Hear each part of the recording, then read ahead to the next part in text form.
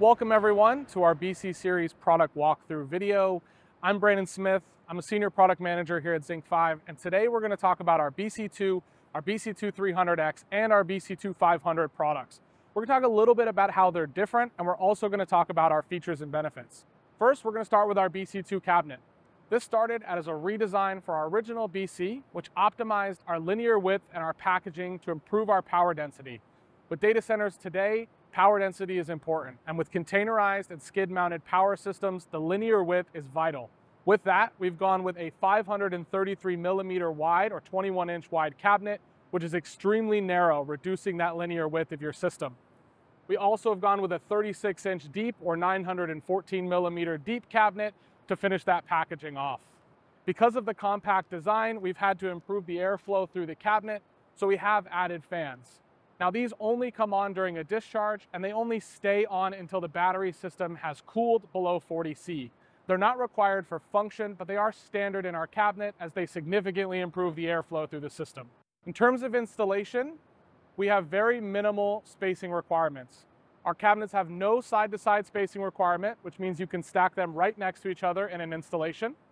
Through the top, you can access our BMS components, so we do recommend a 24 inch or 610 millimeter spacing from the top. In the rear, we only recommend a half inch or a 13 millimeter spacing to allow airflow from the fans to come out the rear. But that does mean you can install our cabinets back to back with each other or back to back with a wall as well. With that, we have our breaker and BMS connections up here in the top. Tray 8 houses all of our BMS components, which we'll do a deep dive on here in just a minute. But we have mounted the breaker vertically to allow for water falling cables in through the top and we do have a high voltage conduit box with knockouts on the top as well to help improve that installation speed. With our system being a high power, high current solution, we have gone with bus bar connections throughout the cabinet. This reduces the impedance path of the system, but allows us to maintain our 800 amp continuous current rating on this product and a 1200 amp continuous current rating on our BC2500, which we'll talk about a little bit later. For serviceability, we provide a tray support bracket with our systems that allows you to pull out our battery trays as one complete unit safely to access the batteries or BMS as needed. Our BC series products all come with the flexibility to include 37, 38, or 39 batteries and will be configured to your requirements. Our cabinet is extremely robust and it is seismic certified. We do ship with our X braces installed, that is for transport and for high seismic zones. They can be removed if you're in a non-seismic area, but they also help transport our cabinet. We do ship the product as you see here with our batteries installed, our BMS connected, which significantly reduces our on-site install time compared to other product lines. Now that we've talked about the cabinet solution, let's dive a little deeper on the BMS and Tray 8. So here we have Tray 8. Again, this houses all of our BMS components. We collect all of the battery and system level data and we bring it up to the top of the cabinet here. This is easily accessible through the top of the cabinet for any service related items.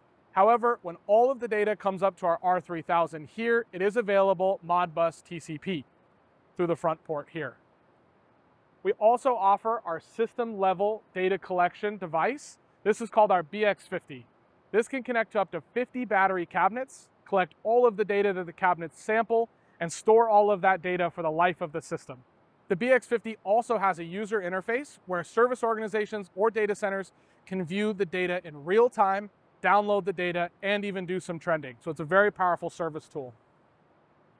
In the front here, we have our thumb drive port where you can do a quick data download. We have our Modbus TCP port where you can pull all of our data and alarms via Modbus. And we also have individual cabinet power control. Now, unlike other systems, all of the BMS control is housed in each cabinet. We don't have any system level controllers making decisions, which gives our cabinets the autonomy that they need. In terms of power source, our battery cabinet is standard with a 110 240 volt AC power supply. However, we do have an option to add a second power source that is either a 110 240 volt AC also, or you can opt for a 600 volt DC power supply. So with that, you have the option to have redundant power supplies, but also potentially redundant power sources for the BMS. We also provide terminal strips for our customers. This will have access for dry contacts as well as UPS breaker control. So depending on your UPS manufacturer and whether they do shunt trip or under voltage relay, we have the ability to do both of those right here. So now that we've talked about our BMS, let's talk about our batteries a little bit. We make two batteries. Both of these are a 13 volt nominal, eight cell nickel zinc based battery. We have our blue top battery here, which is an 80 amp hour solution. Now this comes in our BC2 cabinet and targets around 800 amps of continuous current. For the higher power solution, we utilize a 90 amp hour battery. Now these have the same case and dimensions, but we were able to add a little bit more active material in this battery here, giving it a higher amp hour, more energy, more runtime, and a 1200 amp continuous current rating. Now, both of these solutions offer extreme power density, but they also provide sustainability and recycling benefits that are vital for our industry. We're proud that both of these batteries are being selected by our customers because they reduce their ESG metrics and provide a sustainable battery option for the marketplace. So now that we've talked about our cabinet, our BMS, and our batteries, let's go look at the BC2 300X and the BC2 500 solutions. Now, our BC2 300X uses our standard BC2 cabinet, same bus bars, same BMS, except we've swapped in our 90 amp hour battery. What that does is it gives our 300X more runtime at same powers. So it still targets our 800 amp continuous current that our BC2 product does, but for more runtime. So it's perfect for customers that are looking for longer than five minute runtimes, but still want a power dense footprint. For the most power dense solution we offer, we move up to the BC2 500.